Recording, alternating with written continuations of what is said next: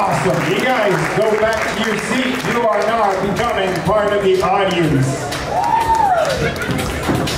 Now switching to our Masters Finals. I want